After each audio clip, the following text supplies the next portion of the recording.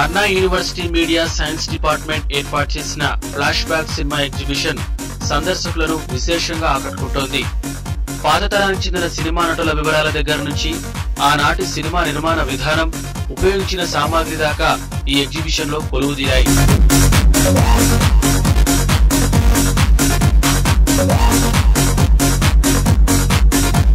వారం రోజుల పాటు జరగనున్న ఫోటో ఎగ్జిబిషన్కు సెర్బియన్ డైరెక్టర్ గోరన్ పాస్కల్ ప్రారంభించారు. సినీ పరిశ్రమ అభివృద్ధికి ఇలాంటి ఎగ్జిబిషన్లు ఎంతగానో తోడ్పడతాయని ఆయన ప్రకటించారు. సుమారు వారం రోజుల పాటు నిర్వహించనున్న ఈ ఎగ్జిబిషన్లో భారతీయ సినిమా ఔన్నత్యాన్ని అందరికీ చాటి చెబుతామని Anna University media science lecturer Venky తీర్చి చెప్పారు. Everybody's been celebrating 100 years of cinema throughout India so we thought why can't we why can't students do something about it Not only that, if you look at today's world, the younger generation are totally delinking from the previous generation. This happened in US and everywhere. In India, just coming up. Slowly they, they have, they have started forming their own world.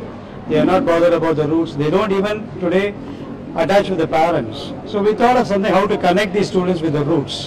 ఎగ్జిబిషన్లో ఉన్న అత్యంత అరుదైన ఫోటోలు అందరినీ ఆకట్టుకుంటున్నాయి దీంతో పాటే సినీ పరిశ్రమ ప్రారంభంలో నిర్మించిన స్టూడియోల నమూనాలు ప్రారంభ దశలో సినిమా ప్రచారాల కోసం వాడిన ఎడ్లబండి రూపాలను కూడా ఎగ్జిబిషన్లో ప్రదర్శనకు ఉంచడం విశేషం.